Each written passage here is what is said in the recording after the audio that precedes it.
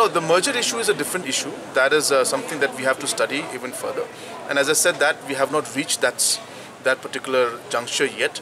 Right now, uh, it is purely on uh, the basis of uh, governance and support for the issues that are important to the state.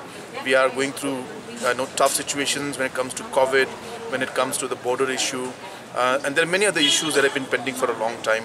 And finally, the government is taking steps to resolve those issues.